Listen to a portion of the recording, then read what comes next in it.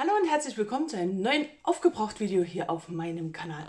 Was ich alles so aufgebraucht habe im Monat Mai, das schauen wir uns jetzt gleich mal an. So, was gestern leer gegangen ist, war dieser Conditioner von Shakebar.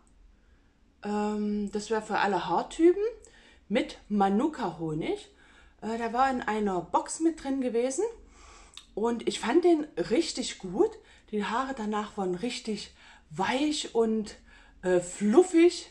Also hat mir sehr gut gefallen. Kann ich echt empfehlen. Dann ist leer gegangen Multivitaminbärchen für Kinder. Wie gesagt, ich hatte die mal gekauft, so als Probe, so für die Wintermonate, ja.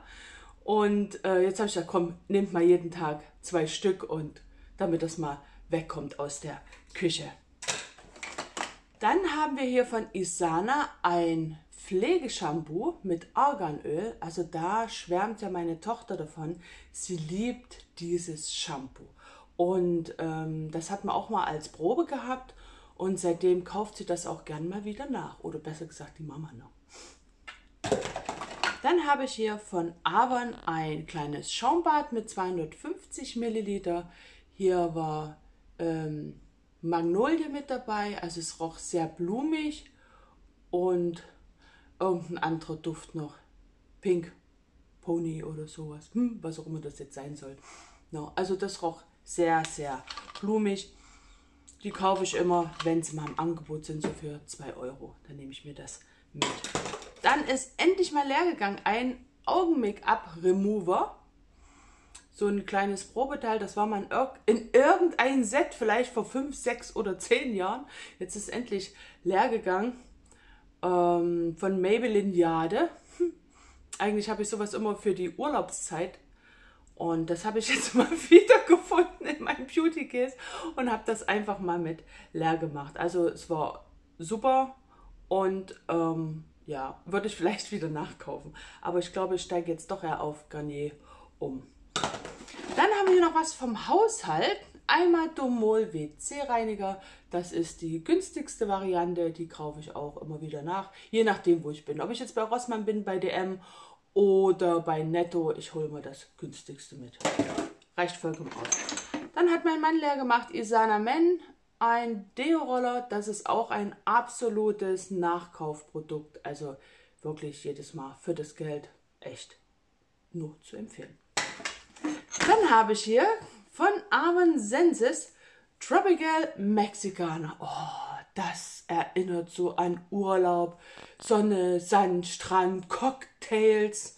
Ja, also das war ein richtig schönes, fruchtiges Schaumbad. Also man riecht hier wirklich die fruchtigen äh, Töne raus, Maracuja, Limette ein richtig toller Duft. Also wer es immer noch nicht probiert hat, ich sag's immer wieder, probiert ein Schaumbad von Avon und es ist einfach nur toll. Dann ist leer gegangen von Dumol ein Weichspüler, Mysterious Flower. Ich glaube, das war aus einem Rossmann. Und für 1,29, wenn ich das sehe und bin bei Rossmann und ich denke dran, ja, dann kaufe ich mir sowas nach. Ich mag ja so die äh, dunkle Orchidee und sowas, das mag ich ja. Dann ist leer gegangen, endlich ähm, mein Sol de Janeiro, original, wohl bemerkt, original Sol de Janeiro. Und das habe ich mir für ein paar Jahren, drei oder vier Jahren mal gegönnt, weil die, äh, wir hatten auch eine Influencerin, hatte mir das empfohlen. Und da war das gerade im Angebot bei Douglas gewesen. Und da habe ich gleich zwei Stück, also eine großes Körperspray, das Körperspray reicht vollkommen aus, da brauchen wir gar nicht das Eau de Toilette, wenn man hier mit den ganzen Körper einsprüht, reicht das. Also da ist man wirklich eingehüllt. Das ist so ein toller Duft. Ich muss aufpassen, dass ich mir den jetzt nicht über, äh, überrieche, weil ah, irgendwann ist dann auch mal gut damit. Ne? Auch DM hat ja einige Tubes oder Nachbildung von diesem Duft, weil das ist immer so mit ein bisschen Pistazie, dass man das dann nicht sich über überriecht oder so. So, dann hatte meine Tochter noch von Ina Kraus ein Vitaminshampoo. Als kleine Probe hatte sie das mal mitbekommen. Das war auch ein super Duft, weil das halt so die typischen Friseurprodukte sind. Die riechen halt ganz anders als wie die, die man im Laden bekommt. Dann ist leer gegangen ein Pinselreinigungsspray. Oh, das kam 3 Euro. Immer wenn ich jetzt so meine Schminkis mache, habe ich das in meiner Box mit drin, damit ich die Pinsel gleich sauber machen kann. Ey, das ist einwandfrei. Das geht richtig gut. Das können wir gleich vor Ort machen, an den Tisch noch. Und ja, also das würde ich mir auf jeden Fall wieder nachkaufen. Dann habe ich hier noch von Balea milde Seife, Duft nach Winterzauber, Let's Get Cozy. Also das ist jetzt auch mal leer. Sieht natürlich süß aus mit dem Pinguin, aber ich kann das Zeug nicht alles aufheben. Ich habe sowieso schon überhaupt Kosmetik en masse. Also ich muss wirklich leider mich von den leeren Sachen trennen und kann es nicht aufheben. Dann habe ich hier noch eine Körperpflegecreme von Naubei. Das war auch in einer Beautybox mit drin gewesen. Roch fruchtig, aber wie ich merke, ist hier, glaube ich, noch einiges drin. Aber wenn man das nicht mehr rausbekommt, ist es halt schlecht. Ne? Okay, dann bleibt es drin. Also ein richtig schöner Duft, so nach Buttermilch. Oh, herrlich. So Zitrone, Buttermilch, herrlich. Dann haben wir mal wieder Freshline von Ocean. Ja, also nicht von Ocean, ein Ocean-Duft, ein Meeresduft. Wir haben ja im ganzen Haus solche äh, Sprüher stehen, ja, in der Hoffnung, dass man das blöde Katzenklo nicht so riecht. Klar, machen wir das jeden Tag zweimal sauber. Aber trotzdem, ich habe das gerne, wenn man nicht gleich an der Tür riecht, dass man eine Katze hat. So, als nächstes habe ich hier ein Duschschaum. Das hatte ich von meiner Physiotherapeutin bekommen zum Nikolaus. Und ja, das ist jetzt auch leer gegangen. Es war ein sehr schöner, blumiger Duft. Es war Rosenduft. Dann war in einer Apothekenbox, genau, Home Spa, Green Garden, ein Körperbalsam, der war auch sehr schön, der zog auch gut ein. Endlich leer gegangen ist von Rons Bull eine Tagescreme, ich glaube, die war letztes Jahr mit in so einer, ich glaube, in der Goodiebox war die drin. Ja, ist jetzt nichts Besonderes, ist für mich eine einfache Pflege und ich habe es einfach mit aufgebraucht. Mehr kann ich dazu jetzt nicht sagen.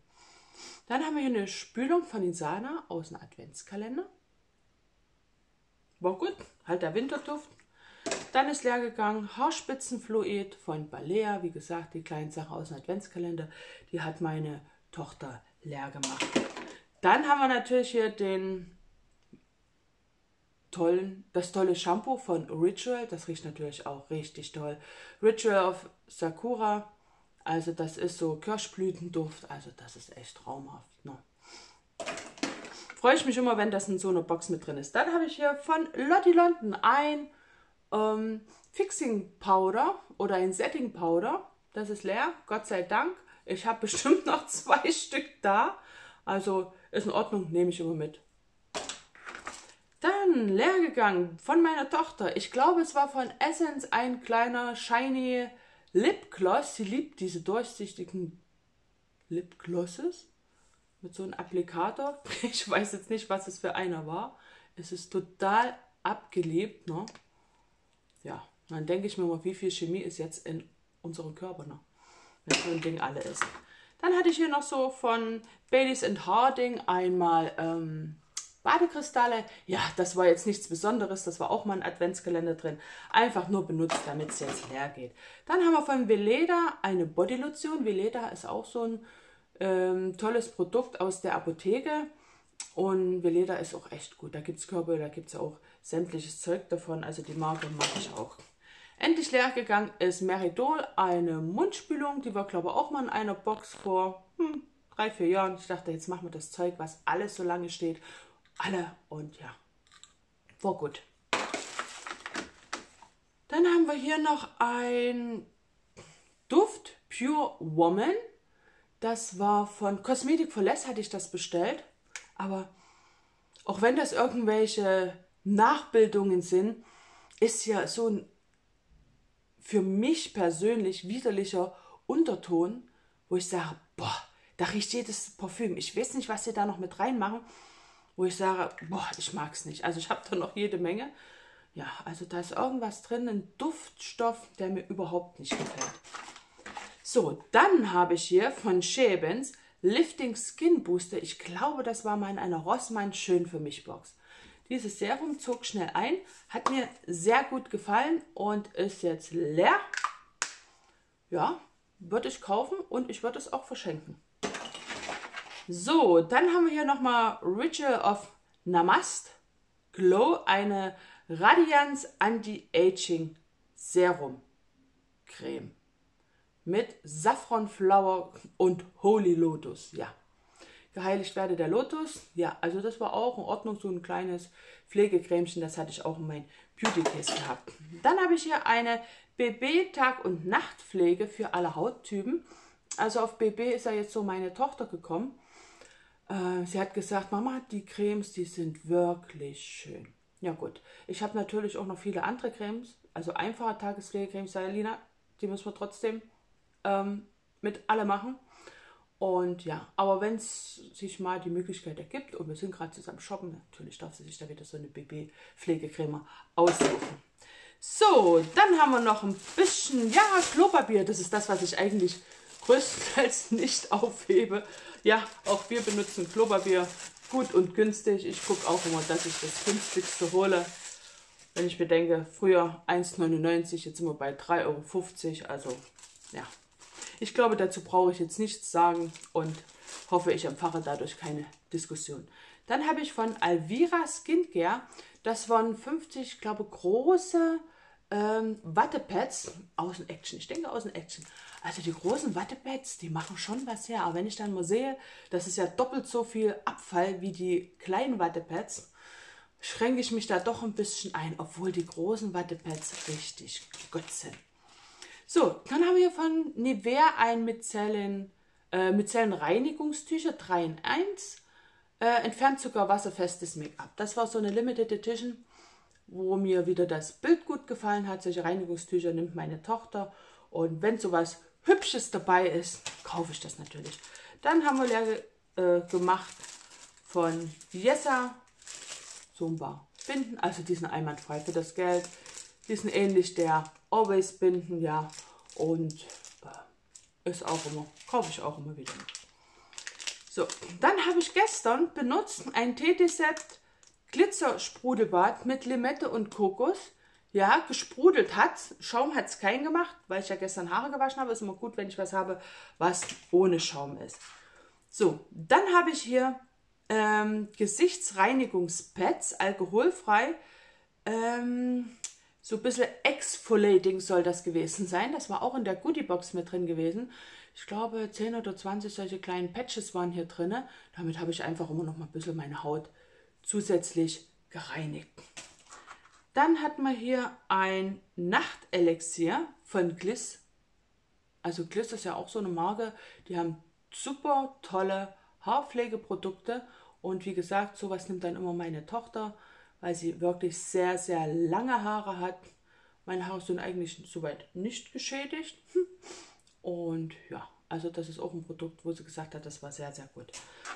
Und dann habe ich ja hier noch ein paar Gesichtsmasken. Also solche kleinen Tütchen, solche Sachets. Zweimal anwendbar. Ich glaube, hier ist auch schon ein bisschen weniger, jeweils 8 Milliliter. Ich bin mir nicht sicher, ob da früher mehr drin war. Natürlich von ähm, Asam, das ist natürlich der absolute Mercedes unter diesen Gesichtsmasken. Ich liebe die Gesichtsmasken von M. Asam. Die sind wirklich echt der Burner. Ja, schade, dass es, ich weiß gar nicht, ob es die so erhältlich ist oder ob man die nur online bestellen kann. Bin ich mir nicht sicher. Das war eine Tonerden-Gesichtsmaske, das war sehr schön. Und das hier war mit Cookie. Und mir gefallen die bald besser als die ganzen Gesichtsmasken, die man so auf die Haut tut wie diese hier. Ich mache das alles jetzt noch mit leer. Klar lässt man sich immer verleiten hier von so einem hübschen Bild. Dann nimmt man das natürlich mit. Auch fast, fast eine Ähnlichkeit. Ich könnte meine Haare so ein bisschen hochmachen. Guckt, guckt, guckt. Das ist ja der Hammer, ey. Meine rote Schleife. Ja, wenn ich das gewusst hätte, hätte ich noch meine rote Schleife reingemacht. Herrlich. Oh, das muss ich mir aufheben. Das muss ich weiter zeigen.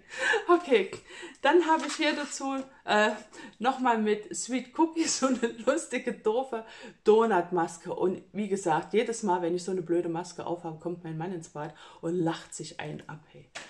Der wartet wahrscheinlich immer nur drauf, wenn ich in der Wanne sitze und dass er mich da ein bisschen auslachen kann. Dann habe ich hier mit Wildrosenextrakt auch eine Gesichtsmaske. Ja, die waren so in Ordnung, aber auch mir riecht das immer alles so sehr nach Chemie.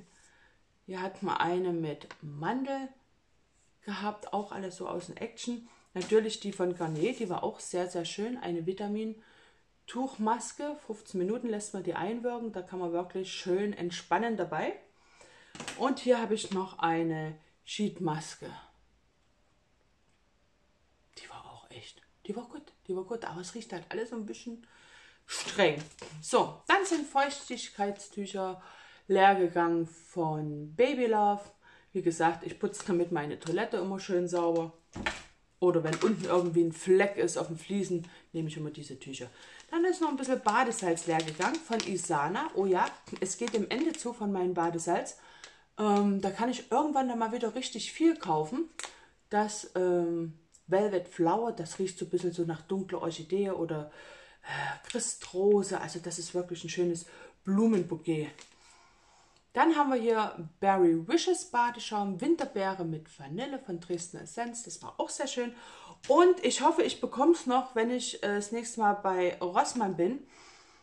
Hier habe ich eine fruchtige Brise Badesalz. Ähm, früchtig, frisch, früchtiger, fruchtiger Duft nach Mango und Pfirsich. Oh, da muss ich mich eindecken. Das riecht wirklich gut, weil es ist wieder eine Limited Edition. So, das war mein Aufgebraucht. Wenn es euch gefallen hat, lasst mal ein Like da, ein Abo. Schaut gerne meine anderen Videos. Die sind immer so an die 10 bis 15 Minuten. Äh, wir wollen es ja immer nicht übertreiben. Außer hier das Aufgebraucht. Das braucht natürlich immer viel, viel länger. Obwohl ich mich gut in der Zeit halte. 17 Minuten ist gut, sonst bin ich bei 20 oder 25 Minuten. Also wie gesagt, lasst ein Abo da, weil das ist ganz wichtig, denn damit unterstützt ihr mich. Und bis zum nächsten Mal. Macht's gut. Habt einen schönen Tag. Ciao.